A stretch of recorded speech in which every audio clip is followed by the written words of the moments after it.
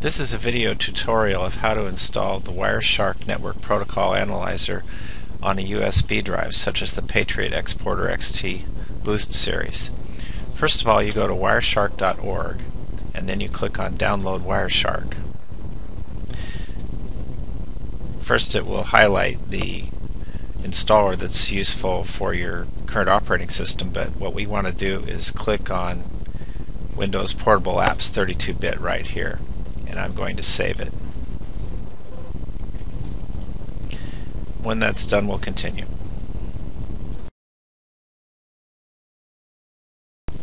After downloading the Wireshark Portable installer, I started it. So I'm going to press Next.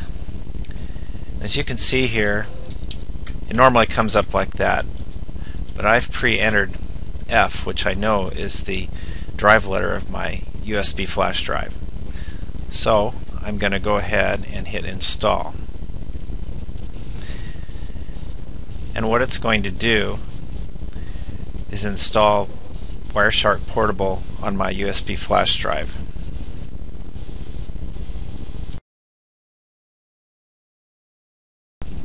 As you can see it's now complete so I'm going to click on finish and Wireshark Portable can be run from any Windows machine with a late enough operating system. You don't have to have WinPCAP actually installed. It has a special version of WinPCAP.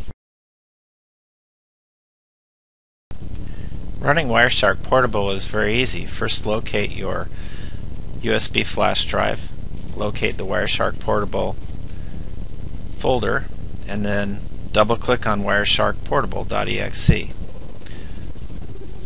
On Windows 7 you may have to right click and do run as administrator. And as you can see it begins to start up Wireshark.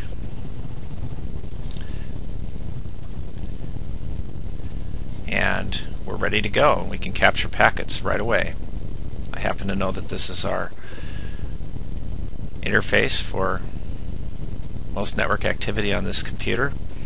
So as you can see, there it goes. It's immediately capturing data bunch of stuff from the switches. So I'll hit stop. You can actually see the information right there. Now this is running off of the actual USB drive itself. I can close it like that. And the application is stored down in here. And then the data is here.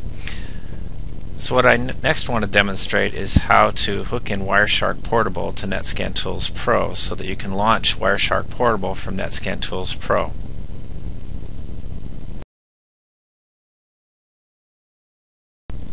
In order to hook NetScanTools Pro USB version into Wireshark Portable, you first have to locate and start NetScanTools Pro USB version off the same USB drive. As you can see, it's in this directory and Wireshark's in this directory. So I'm going to start NetScanTools Pro. It asks me if I want to use the previous database, and I say yes.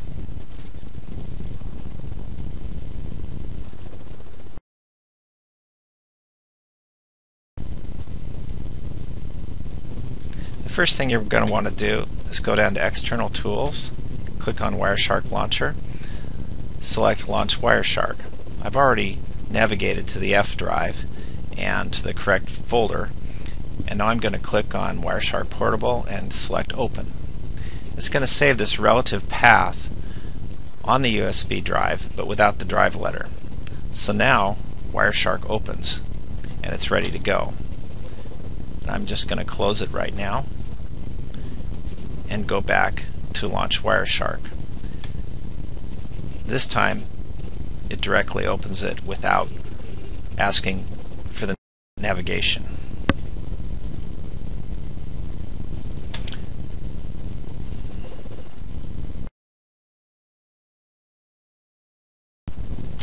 If at any point you need to clear the relative path to Wireshark Portable.exe on your USB drive, simply press this button. So you can get Wireshark by visiting the wireshark.org website. And this is how to hook it into NetScanTools Pro so that NetScanTools Pro can quickly launch Wireshark from your USB drive.